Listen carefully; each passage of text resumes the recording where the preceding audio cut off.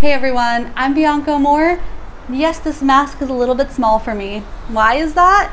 It's for kids, but I needed to show you what it was I was showing you. So we've got disposable face masks for the little ones that are 50 cents a piece or $3 for a pack of 10. They're all sorts of fun colors and they're 30 cents a piece for a pack of 10 or 50 cents if you need some that are single packed so that they are completely safe before they're worn. Make sure to pick some up.